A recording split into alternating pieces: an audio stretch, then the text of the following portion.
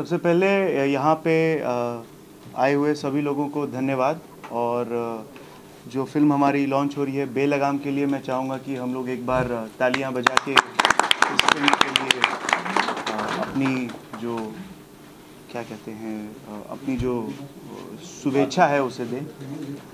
तो मैं बहुत खुश हूँ, एक स्टाइलिश फ़िल्म हम लोगों के बीच में बनने जा रही है। विद्यान जी की मैंने काम देखा हुआ है। उन्होंने जो गुल मकई में जो काम किया है, फ़िल्म थोड़ी स्टाइलिश है। तो मैं यही चाहूँगा कि भोजपुरी में हम लोग एक स्टाइलिश फ़िल्म बनाएँ और इसका सब्जेक्ट मैंने सुना है, बहुत ही अच्छा है। और एक लीग से हट के फ़िल्म सोची गई है और ऐसी फ़िल्मों का बनना भी भोजपुरी में बहुत ज़्यादा ज़रूरी है।